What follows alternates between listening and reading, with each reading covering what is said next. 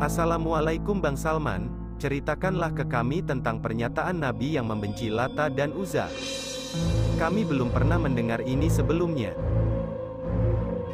Waalaikumsalam warahmatullahi wabarakatuh. Baik, saya lanjutkan. Bukhairah melihat seksama orang-orang Quraisy yang masuk ke dalam gerejanya.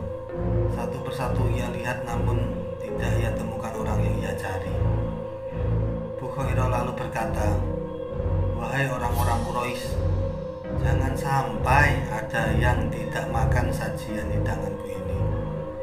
Satu di antara Quraisy menjawab, Hai Bukhairah, tidak ada seorang pun yang layak datang kepadamu yang tertinggal kecuali anak muda yang paling muda di antara kami.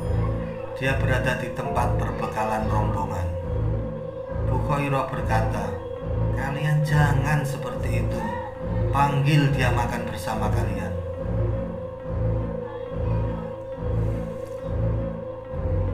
Salah seorang Quraisy berkata, Demi Al-Lata dan Al-Uzza adalah aib bagi kami jika anak Abdullah bin Abdul Muthalib tidak ikut makan bersama kami.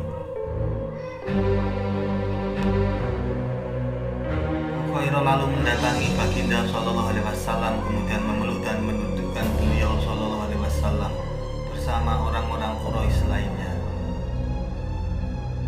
Ketika Bukhairah melihat Nabi, dia memperhatikan sekujur tubuh beliau dengan sangat detail.